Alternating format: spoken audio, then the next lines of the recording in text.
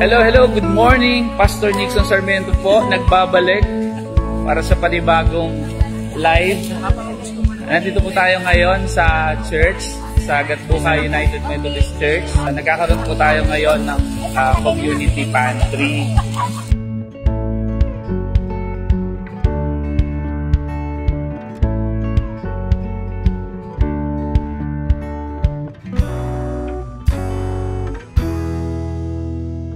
Meron tayong mga kapatid na bukas palad sa pagbibigay.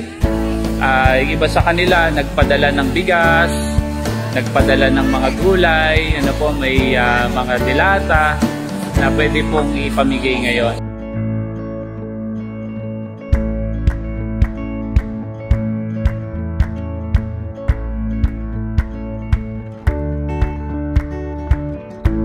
Bahagi po yan ng ating uh, pagdiriwang ng month-long anniversary ng uh, ating church with our team Up and Out. Ano po?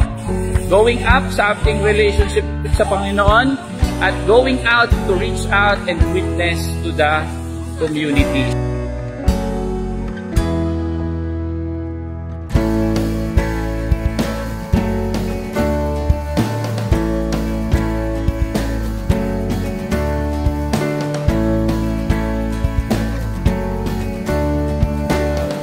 Psalm 23 verse 5, ang sabi doon, ako iyong ipinaghahain ng hapag.